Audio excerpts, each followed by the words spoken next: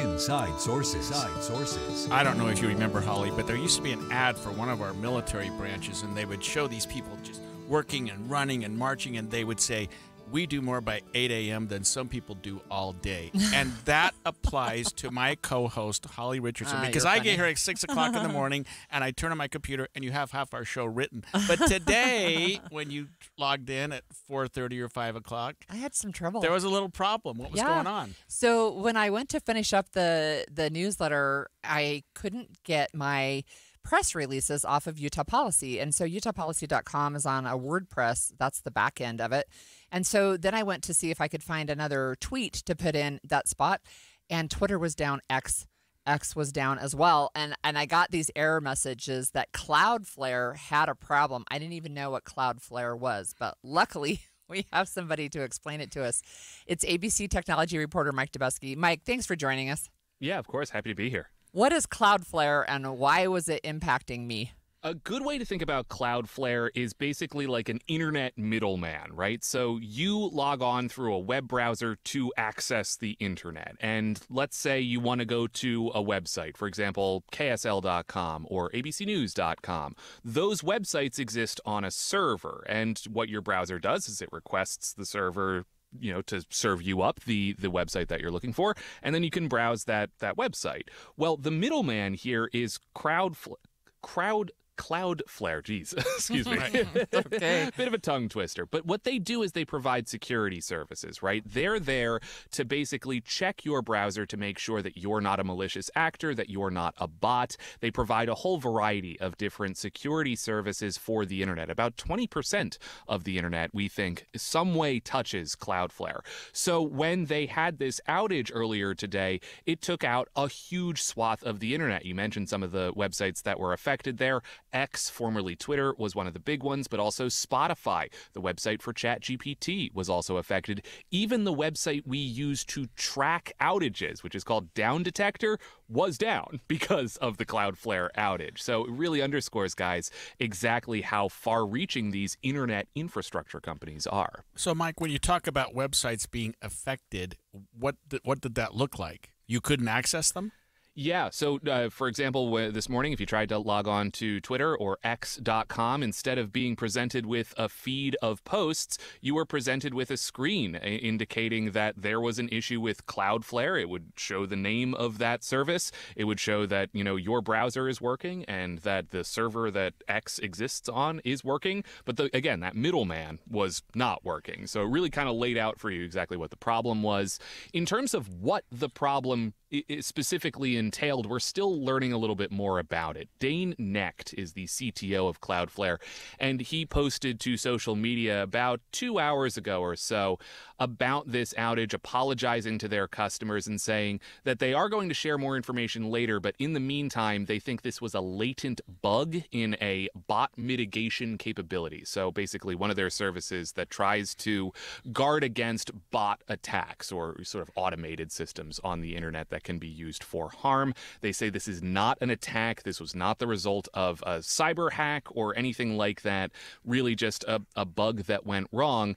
But again, guys, I think the big takeaway is that when something small like this happens, which it does with some frequency, it really does have these wide scale, outsized impacts because so much of our internet landscape really relies on just a handful of companies. That's super interesting. So, what's the status now?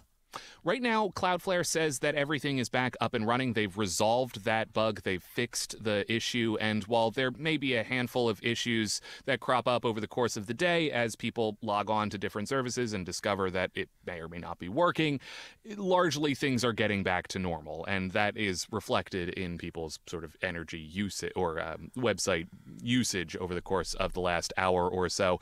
X is back up and running, uh, Spotify is back up and running, so it, it seems like we're back to normal. But yeah, really frustrating morning for many, especially those trying to put together a newsletter. And you kind of put this to bed, Mike, but a, lot of us probably, a lot of us, including me, thought this is some sort of cyber attack. This was the, the Chinese showing us that they can they can shut down our websites anytime they want. But the the the, the folks at Cloudflare seem to think it was something internal, something other than that. Yeah, yeah. A- again, it's easy for our minds to go there, and we've seen that happen in the past. But even if you go back to last month's major outage, this affecting Amazon Web Services, different company, that was the result of a bug, essentially, a, a, a flaw in a piece of code that, that went wrong and had these sort of big ripple effects. Seems to be the same story this time around, slightly different company, but even still, you know, this was not a, a nefarious thing, just a piece of code that went wrong, a bug that showed up in the very complex system that, again, underpins a lot of the internet. I don't know if anybody's talking about this, but are there um, security measures that even end users like myself should be taking? Or is it just something you just expect that at some point you're going to have outages on the internet and you may or may not lose stuff? So this is going to be an unsatisfying answer. Uh, for the average person, this is just something that we're going to have to deal with, right? A huge part of our lives obviously exist online. A large part of our jobs exist online, meaning that you're dealing with a variety of different services, all of which draw their origins back to just a couple companies. Cloudflare is one of them on the security end of things, but Amazon Web Services and Google kind of provide the, the bigger cloud computing infrastructure for a lot of these companies.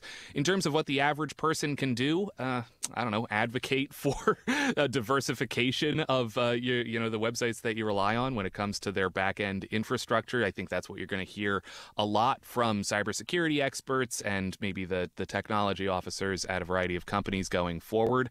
You know, hey, maybe we shouldn't be putting all our eggs into the Cloudflare basket. Maybe we should be diversifying a little bit more with some of these other providers when it comes to getting our services online. But again, very early stages of that. That's a complicated and expensive process, and one that, you know, we just are not married to right now, which means that, unfortunately, for the aver- average person, I think this is just going to be something we have to deal with.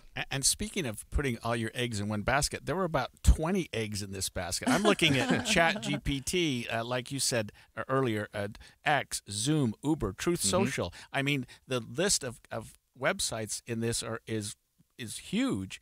And I, I guess that look anyone accessing any of those would have experienced the same thing my co-host Holly did this morning. Is that correct? It, seems that way, and and admittedly, you know, your mileage will vary. Like I was able to log on to some services this morning that other people were not able to get on, but that's kind of the nature of these large companies, right? This was true during the Amazon outage last month, where you know some of their services, maybe in certain regions, run with certain companies like Cloudflare. Maybe if you live in a different region, it's slightly differently structured. But yeah, a very frustrating day for many. Uh, and we're still trying to get our head around exactly how wide scale this outage was. We again know that 20% of the internet thereabouts uh, somehow does business with Cloudflare, but obviously not all of them were impacted by this. So it's um, you know evolving story. We're going to continue to track it.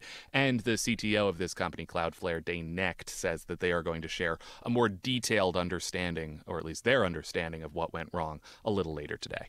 I have one last really quick question. Was the fix something that was just a temporary, we fixed this bug, or is this a, a permanent fix? Do you know?